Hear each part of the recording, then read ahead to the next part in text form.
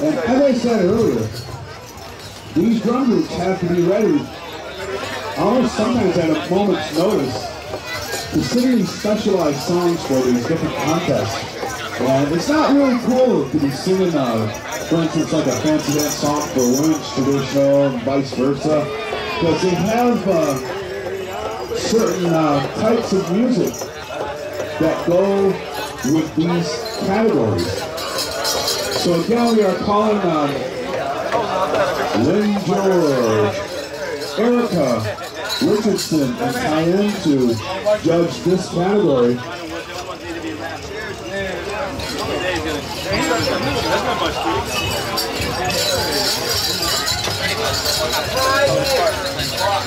Someone has lost a picnic bag, so if you find this picnic bag, please bring it over here. Rustle it away from Yogi Bear. Bring it over here. Again, a picnic bag. If you find anything, turn it in to the lost and found world. Make sure it gets back to its rightful owner. And as we said, uh, unless requested by the judges, we're going to try to take care of these uh, contests, these adult contests with one song. And you know, it's going to be tough, I know, for some of these groups, because, man, we have some real champions here at Bear Mountain Powwow. I'm dive all the time. Let's dive what? Okay, I had a uh, request from one of our head judges here that uh, all of these adult songs, please listen up singers, all of these adult songs were wanting something other than a straight song. So something other than a straight song for all of these groups and we've got women traditional out here right now.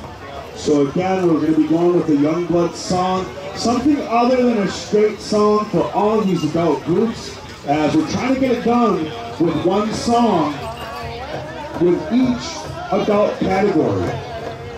So I know it was just a moment's notice and uh, Youngblood, you got something up your sleeve for women's traditional.